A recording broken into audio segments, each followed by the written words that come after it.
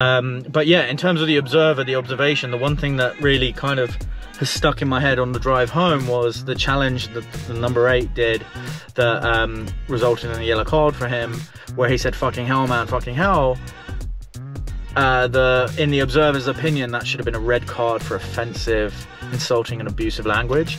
Um, and I didn't take it offensively. You know, I, I took it as frustration. Um, he thought he won the ball, but obviously I see I've seen him go through the player, and that's kind of um, left me with a bit of sour kind of taste in my mouth because I don't think anyone wanted a red card in that incident. Uh, I didn't feel offended. Um, and you know this is where like subjectivity of some decisions are really interesting right? Because if the observer thinks that's a red card and i, I don't actually think it's uh, a red card at all then how does that change my mark or or you know the feedback i'm going to get in my, my observation? So that's going to be interesting to see what comes in the observation Hi guys, uh, off to my uh, game for today. It's a Saturday, three o'clock kickoff, back to the traditional um, kind of uh, match day. Um, and it is my first observation of the season, my second middle of the season, first observation, and super excited. I, I love getting observed, I love getting the feedback, I like getting the mark.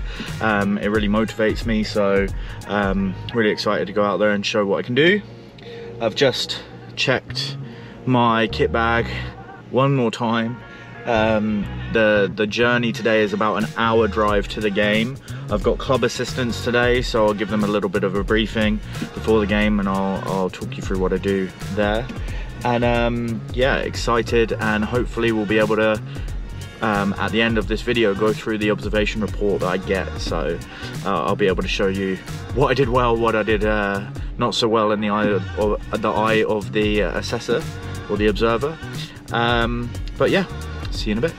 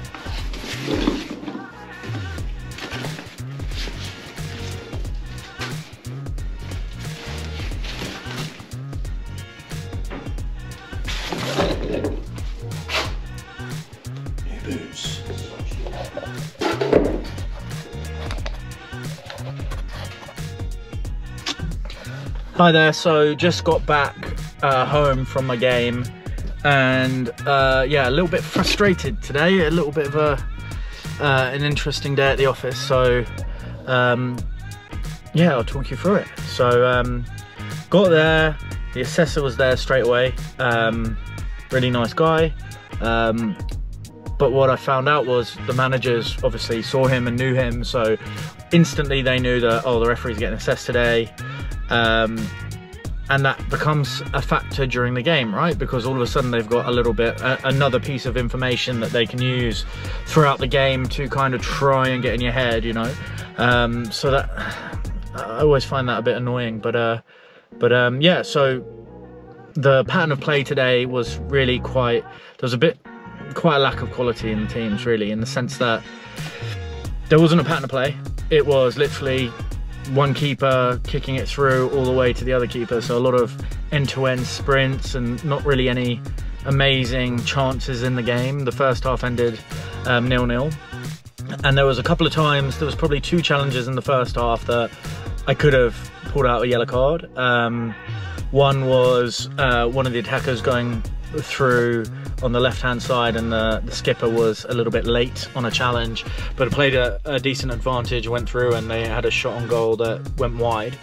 Um, pulled the skipper over and just said look that's the only one you're going to have today. Um, and that kind of management worked really well. The skippers actually both skippers worked really well with me today so that was really uh, one positive. Um, and then there was another challenge which um, looking back yeah, it was just uh, uh, they were both high careless and like early reckless challenges. So it's possible that I could have given yellow. I decided to manage them both, um, and then went in half time feeling actually there wasn't really much to do in the in the first half. There was a couple of those two challenges and then a few little niggly careless fouls, but not much at all.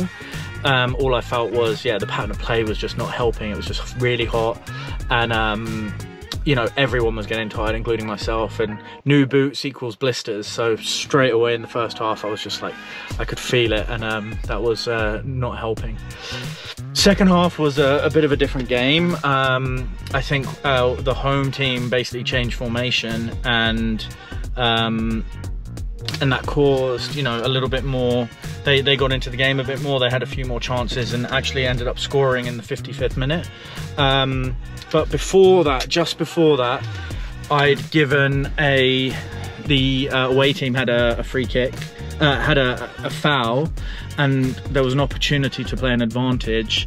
But um, interestingly, at half time, the manager of the away team had basically told me, "Hey, I don't really want advantages. You've been giving way too many advantages. We just want the free kick. And that kind of played in my head. So I gave a free kick and the ball, the advantage would have been much better to give. It, you know, went into the box and there was a potential shot on goal. So, um, you know, dangerous to kind of allow managers to get in your head. Um, he's probably regretting saying that to me because obviously he could have had a potential chance there. And, um, but that caused some aggro from him. I went over and spoke to him and said, in no uncertain terms, thank you for your for your feedback, but it is not welcome anymore. Um, concentrate on your own coaching and don't coach me. And as I was walking away, he just continued and continued. So my first ever yellow card to a manager was uh, was shown. Um, and then the home team scored a goal um, there was a couple more yellow cards in the game. There was uh, one of the centre midfielders went straight through um, one of the home team's uh, players. Uh, he won the ball, and he did, but he won the ball after taking out the player's ankles from behind. So it was a pretty easy um, yellow card. He proceeded, and this was only kind of noted after the game when I spoke to the Observer to say, "Fucking hell, man, fucking hell." Um, so that's I'll, I'll, come back to that. To me, that was just frustration. Um, but yeah, the yellow card was enough for the challenge.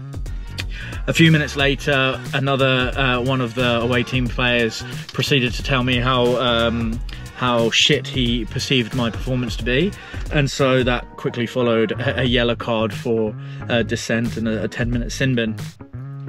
Um, and then a little bit as the game went on into the kind of dying 10 15 minutes, the away team who were losing started to get a few more, a lot more possession and trying to trying to make some chances in the box. There was a lot of kind of tussles in the box, but then what also ensued was a lot of counter-attacking football the other way. So that really kind of um, yeah, enabled me to. Well, what I needed to do was a lot, a lot of sprints and and trying to be clever with my positioning in terms of knowing if this ball gets um, into the goalkeeper's hands, get on my bike because they were just launching it as soon as he got it. So that was there, and then there was a final yellow card for a dissent from the away team in the last minute where there was potentially an opportunity to give the, the player a foul. Uh, it would have been soft, but then there was a free. Uh, it went for a throw in, so I thought let's just give the throw in, and um, he, he he then you know gave me some information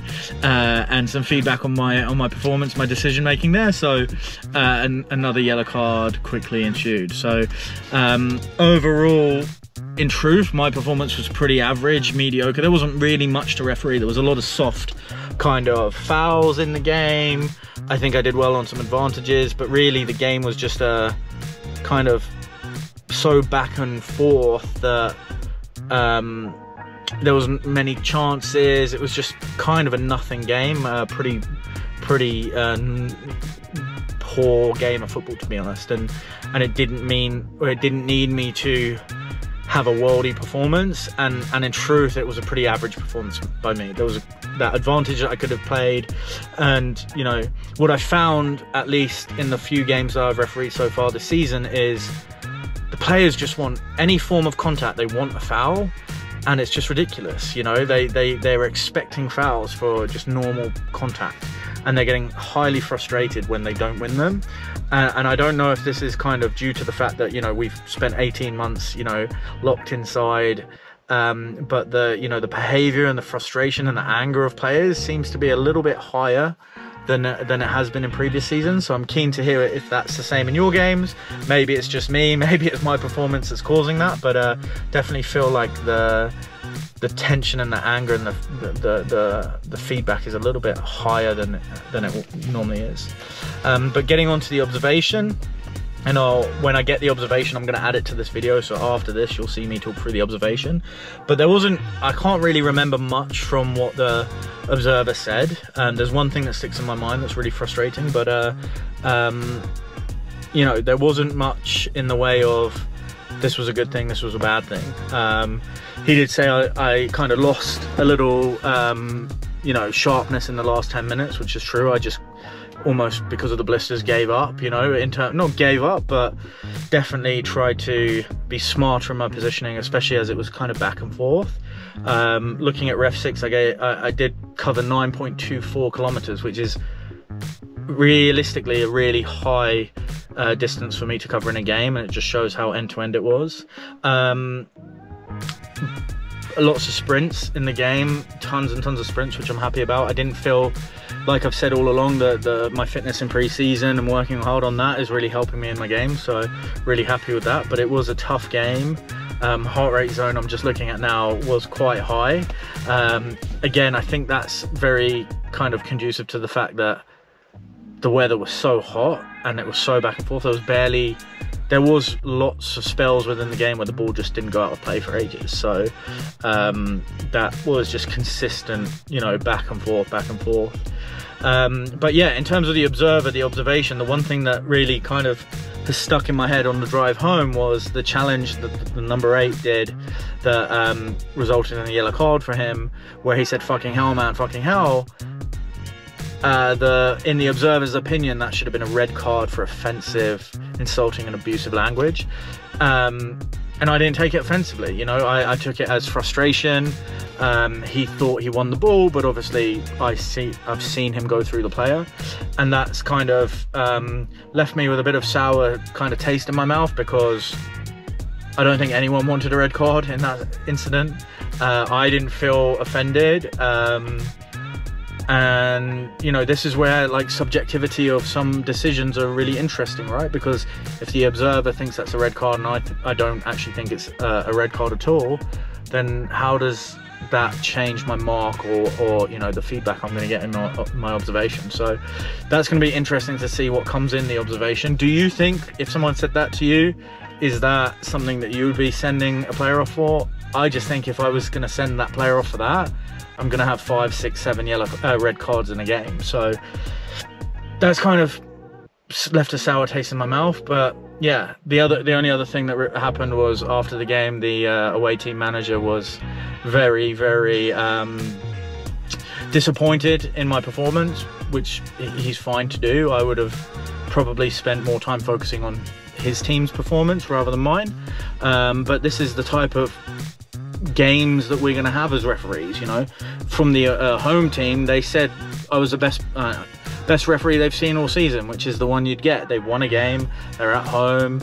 Um, there's only four games so far in the season, but you know, you get that where one team says you're the best referee all season and the other team says the worst referee they've ever seen. So that's just going to happen. And, um, you know, it's, it's probably not the last time I'm going to hear that this season, but yeah, I can imagine if you're not thick-skinned, you know, that can be demoralizing, and you know, sometimes it can be. I, am a bit annoyed by it, but um, but I also know that sometimes coaches and players look through rose-tinted glasses at what they think is great and then and what they don't so all i know is many of their players came up to me at the end and actually were were, were pretty complimentary um, some of them didn't come over to me which is fine uh, i always think just come over and say just handshake or fist pump or whatever and just say you know thanks for turning up because it's you know there are a lot of referees that are not uh, not re-registered, right? So just just say thank you, you know, or don't even say thank you. Just you know,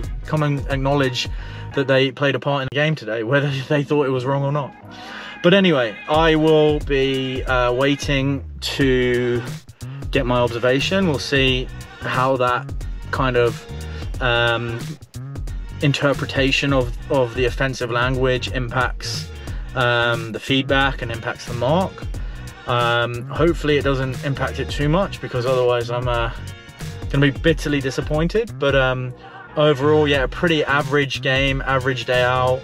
Uh, feel good about my fitness as I've been saying, which I'm happy with. I've got blisters, so I'm to have to figure out how I'm going to strap myself up for Tuesday. I've got a game on Tuesday and Wednesday. Um, so, yeah. Yeah. Have a nice dinner and a maybe a cele mm, celebratory beer is probably the wrong word, but a nice beer to ease my uh, ease my nerves from the game and try and forget about it going into uh, the next few days where I've got a couple more games uh, this week. So see you on Wednesday when I get the observation. Hey guys, so it's Wednesday um, and I've just had my uh, assessment through in email. So I haven't actually read it yet. So I'm gonna read it with you and we're to go through each section and then hopefully, fingers crossed, there's a decent mark at the end. There's the mark that I need or the average I need for my five assessments this year is 70 so as long as I get there or thereabouts it's a good start um, but here you go so the game was Liphook against Paulsgrove it was 1-0 and it was on the 14th of August so the first three sections. Well, the first section is application of law, and it's split up into three different uh, areas. So, recognizing and penalizing fouls correctly and consistently, um, issuing correct sanctions, and applying a stepped approach, and applying advantage effectively and manage follow up appropriately. So, as you can see, the first one is um, given a score of two. Um, so you get a score from one to five, five being excellent, one being poor. Uh, three is basically what you you're averaging, and I think there's 20 different categories. And to get 70, you basically need 10 threes and 10 fours. So um, started off here with a two, which is obviously a below average score. So let's see what he said. So uh, picked up all 15 major offences from the 10th minute. So the first foul was in the 10th minute uh, to the 93rd minute. Uh, there were 10 in the first half uh, six by the oh sorry no ten by the home team, six by the away team. Uh, restarted match in accordance with law. Great. Um, he's put in the timings of the offences for the home team and away team. Um, you issued cautions in the 51st minute to the away team uh, officials, so that was the manager that I booked for dissent. Um, 61st minute, uh, the away eight. Um, it says he's. I've given him a a card for foul and abusive language.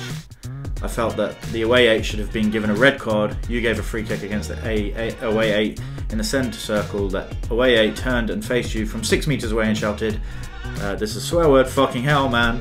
I got the ball, and the away eight turned away, took a few pace, then turned back to face you and repeatedly used those words. So, if you've been watching earlier, um, this was the major thing that I was disappointed with from the observation that the fact that the official, uh, the observer has said, I've missed a red card for what he's deemed, to be foul and abusive language towards me. Um, I felt it was said in frustration.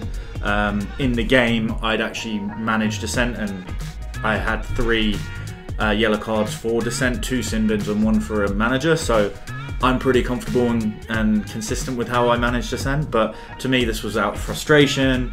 I did not think it was a red card. Um, but that's the observations, uh, the observer's uh, opinion.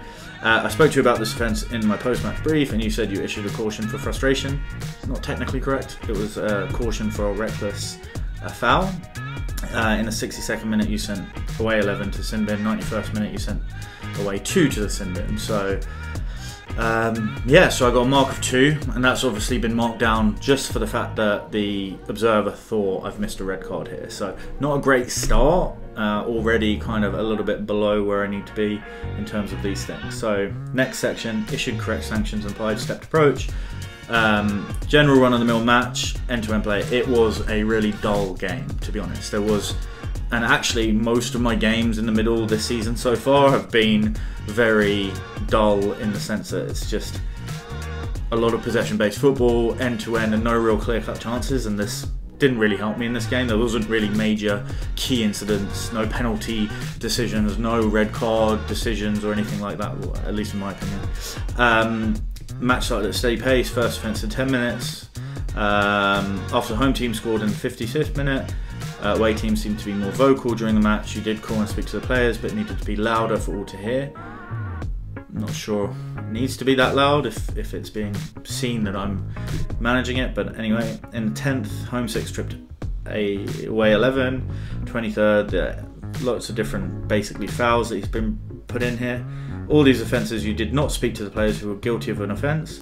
By speaking to players early in the match, show you are using the stepped approach for further action to be taken um, and setting out your plan of refereeing to keep control. So this is where a stepped approach is just what you define or how you define it in the game, right? So if there's a careless foul, in my opinion, you don't need to speak to the player after that. If that player is um, consistently uh, giving doing careless fouls, then you might want to say, okay, cool, you're, you're getting close here to persistent infringement.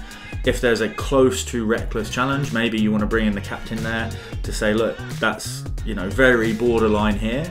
Um, so that's how I would have used the stepped approach. But again, obviously it wasn't deemed to be appropriate in this game, but who knows?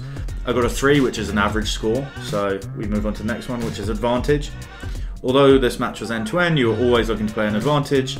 You did this in the 46th minute when the away 8 tried to trip the home team without losing any control. So I think there was a couple of incidents around advantage in this game. Obviously, I think I actually played a couple of bad advantages um, where there was definitely an attack. I actually, I actually tried to, put, I tried to play an advantage and then brought it back, and I could have given myself an extra couple of seconds. There was one really early on that I played, which I thought was great, which hasn't picked up. But um, score of four here. So actually, in the end, I've basically got an average score of three for that section. So, so far so good. Match control. Um, I'm starting to see some slightly bigger scores here, so that's nice. So the the key um,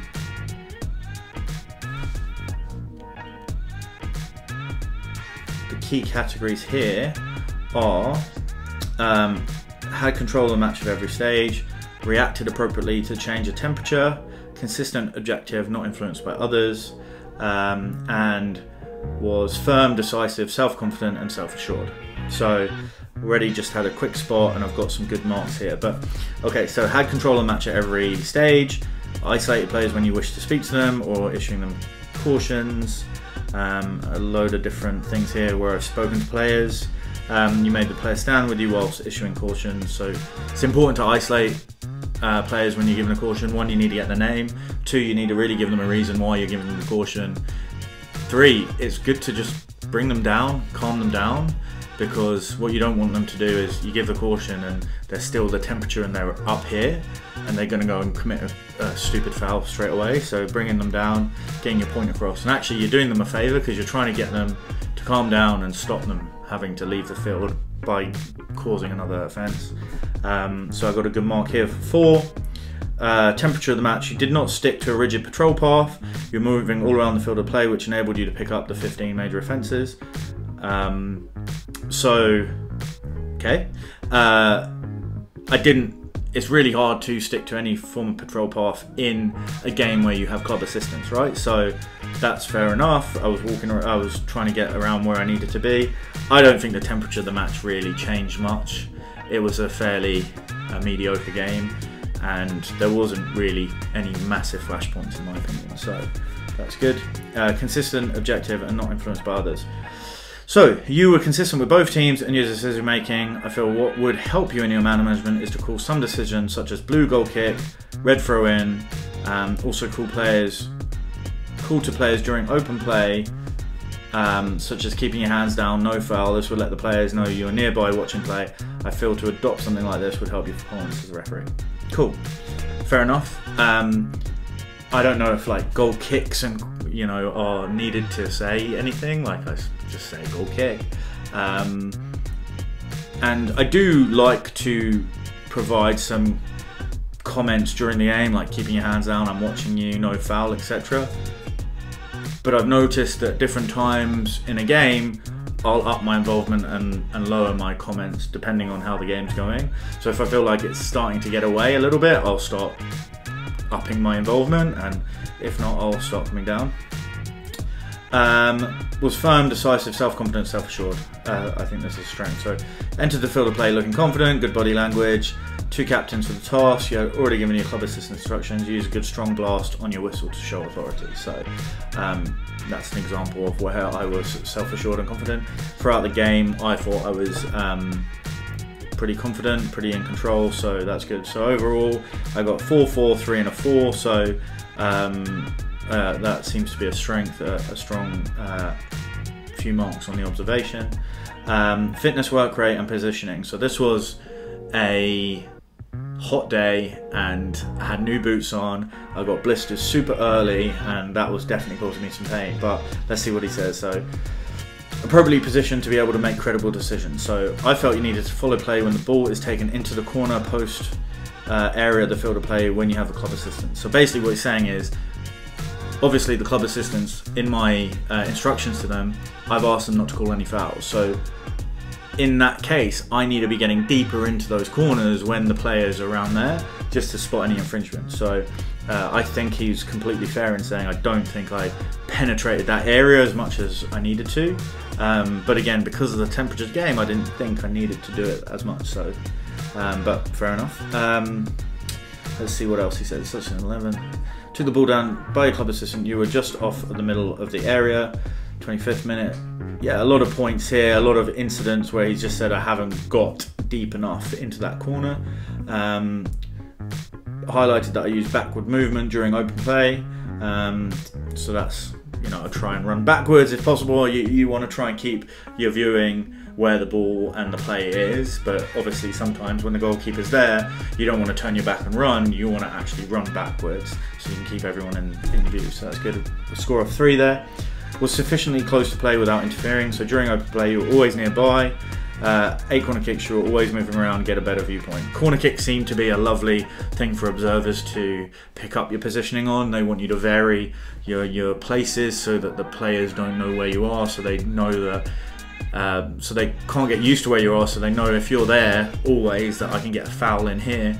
Um, so they love bringing up um, things around corners. So uh, positive score of four. Displayed good stamina, sprint speed throughout the match. So um, probably, if I remember, as the game went on, I tired a little bit. It was the heat, the blisters didn't help. Um, I think I had a few good sprints, but again, I don't think it needed that. But let's see what he says. So your movement from the start was good around the field of play, but you lacked a good sprint during the match. In the last 10 minutes of this match, your movement seemed to slow and not get uh, into important areas. Fair enough. I'll take that. Three. Stoppage. So next categories are stoppages and technical offences. So managing penalty kicks, attacking free kicks effectively, including free kicks near the penalty area. So what this is all about is those ceremonial events where for a penalty kick, are you managing the ball on the spot, the goalkeeper on the line, and the players outside the box? For a free kick, um, in and around the penalty area, are you managing where the ball's placed? Are you managing the walkout of the 10 yards? Making sure the keeper's ready, blowing your whistle when you need to, and making sure that the whistle, everyone knows it's on the whistle. So in the 23rd um, and the 50th for free kicks near the penalty area, you'd pace out the 9.15 meter distance, make sure it was maintained until the kick was taken and you're getting into your new position. So, um, yeah, i I demonstrated that I can manage a, a, ceremonial free kick and I got a score of four. Um, other restarts, did he manage other restarts correctly? Goal kicks, corner kicks, throw-ins, and kickoffs.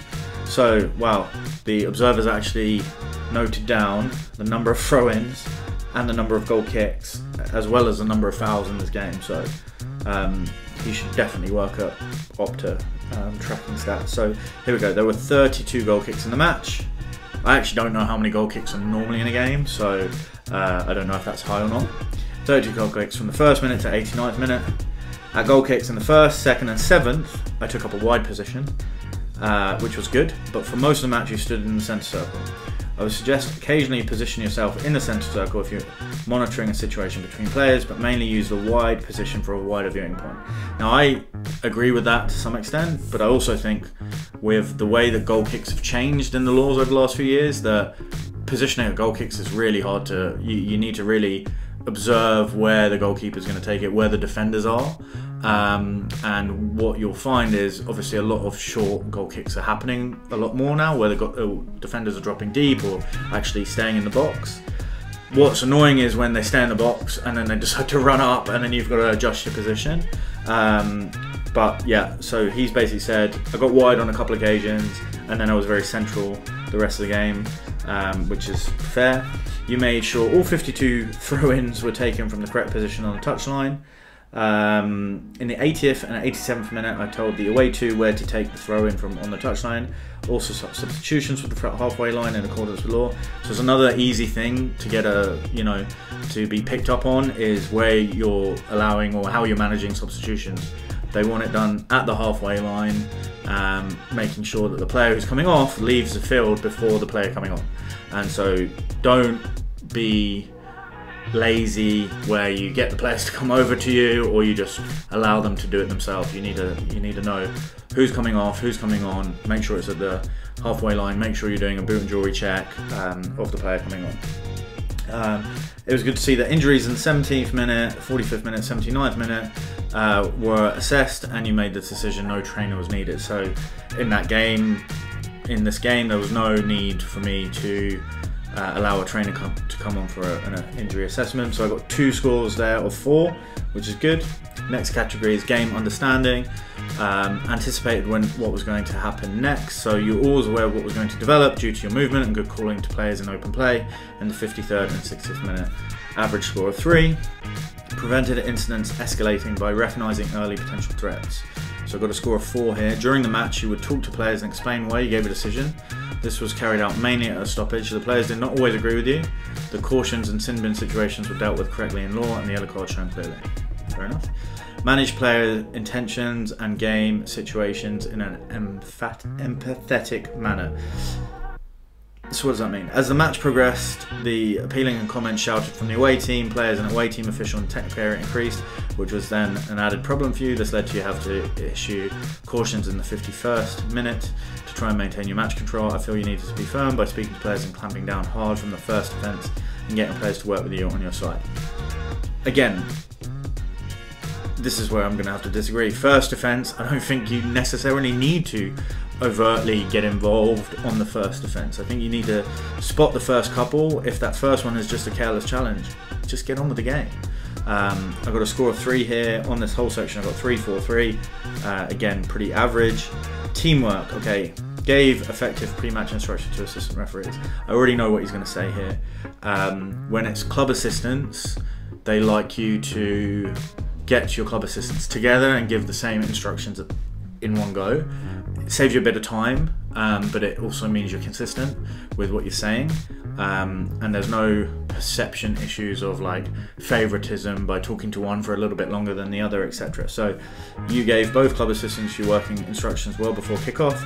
Um, you're very good loud blast on your whistle to summon both captain for the toss. Both club assistants supported you well, even if their flag indication were not clear all the time always remember club assistants are part of your team to work with them to help you. Okay, so he actually didn't bring it up. Um, he did mention it uh, in the debrief, but um, club assistants is one of the hardest things to deal with because they are basically volunteers. Probably they're subs in most cases. They're not trained in any way, and it's just sometimes they can cause you a, more grief than, than, than is needed. But those two on the day were, were good. I like to try and give them a thumbs up when I get close, saying thank you, keep it up, and I always at half time say thank you. At the start of the game, I say thank you for doing for, for giving up your time to do it. Always make sure that I go over to them at the end, no matter how their performance is, even if they've said or commented on my performance. I'll always make sure I go and say thank you, even if they don't appreciate it. So on to last category, communication. Oh no, no, I got one more on teamwork. So acted correctly and communicated well when offences were indicated by the AR. So in this match, you picked up all your assistant's flag indications, which is a good sign. Um, 52 throw-ins, eight corners, and 32 goal kicks. Okay, so um, good score of four. And then communication, which I can already see, I got 444, so it's a good uh, strength of mind here. Signalled effectively with confidence, used the whistle effectively, displayed positive body language. So all of these comments, hand indications, including indirect, given firm and clear. Um, interestingly, um, good loud whistle to start the match throughout, good whistle tone, body language very good from start. I'd like to see and hear you calling players and decisions from time to time from the start of the match to aid your match control. I think he's contradicted himself a few times where he said good calling to players and then bad calling to players, but there you go. Good scores are 4 4 4, and then um, now is time to look at the score. We had that early, early setback of the two, and then as I've gone through, I've seen some good consistent threes and fours, which is what I need. So have I got more fours than I, than I needed to get out? Let's have a look. Boom. Total score is 71. I need a 70. I'm really happy compared to how you saw in the video earlier how probably disappointed I was with um, that comment that I missed a red. Normally, if you missed a red in the observer's eyes, that's going to kill you. Um, but actually, it's come back 71. Um, I need a 70, so that's a good start to my season. Um, for a game which was pretty dull and not had had a huge amount of um, key match incidents or anything to really showcase my skills, um, I'll, I'll take that. I'll put it in my bag, and we're on to the next game. So I hope you enjoyed going through my observation with me. And we will be seeing you again soon. Make sure to subscribe and like. If you want to comment, let me know what you thought about the observation this day, this vlog, please do. And uh, we'll see you soon.